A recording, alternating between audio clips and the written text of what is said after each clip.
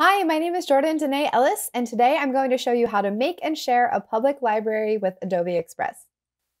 From the homepage express.adobe.com, head over to the Libraries tab on the left. This is also a reminder that libraries don't currently open on mobile, only desktop, but I hope that changes with a future update. So hit create your own library, call it whatever you want. Mine is going to be a library of mood board templates that already exist in Adobe Express because I don't design my own templates. But if you do, you can design your own and add them to any library. Just a reminder that if you want these to be accessible to anyone with either a free account or a paid premium account, make sure that any assets that you use in your templates are free, which is design assets, stock images, fonts, Make sure that none of them have a premium crown.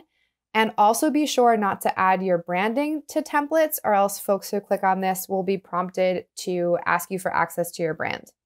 You can also add assets if you design your own in Photoshop or Illustrator. You can upload those here. And then to share your library, just click on the button in the top right. It will create a public link for you. You can copy that link and share it anywhere.